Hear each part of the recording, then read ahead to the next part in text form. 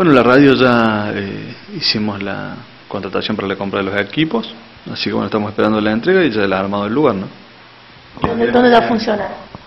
Va a funcionar allí en el centro cultural, eh, digamos, hasta que te encuentre un lugar eh, mejor, pero en principio funcionaría allí y va a funcionar, la idea es que en junio, o sea, también que tenemos las elecciones, pero eh, la idea es ¿Antes que... de las elecciones? Sí, no, no creo, no creo porque bueno, se generarían varios inconvenientes hasta llevarla a cabo, bueno, la idea es que se, se realice de la mejor manera, ¿no? Pero bueno, eh, seguro se van a posponer, viste los tiempos, tenemos la fiesta ahora el 25 de mayo eh, en unos días, entonces también estamos trabajando con eso, eh, son varias las cuestiones que tenemos y eh, un mes antes de las elecciones no se puede hacer ningún tipo de inauguración, Eh, como yo lo he dicho en otras oportunidades, las obras estas las hemos venido haciendo, lo que se puede inaugurar eh, antes inaugurar antes y lo que no quedará para después porque eh, hacer las cosas así a, a las apuradas o eh,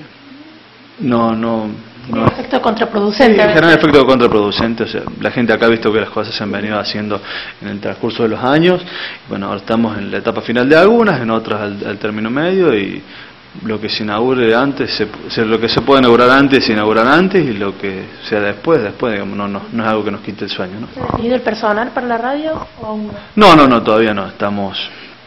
eh, se han hecho una serie de talleres, ¿viste? La idea es de, de a poco ir armando algo. Tampoco contamos con un presupuesto eh, eh, importante para, para este medio, sino la idea es que sea bastante a pulmón y que la gente se esfuerce, las instituciones participen, sobre todo los colegios, eh, las diferentes instituciones eh, intermedias del pueblo, para construir esta radio, ¿no?